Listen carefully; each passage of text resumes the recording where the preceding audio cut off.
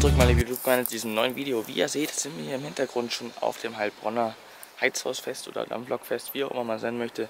Heute im Jahr 2017, heute müssten wir den, keine Ahnung wie viel Oktober, äh, September haben. Heute ist der 10. September, Sonntag. Ähm, und hier geht ganz schön was ab und deswegen tue ich euch einfach mal ein paar Impressionen zeigen und wünsche euch viel Spaß.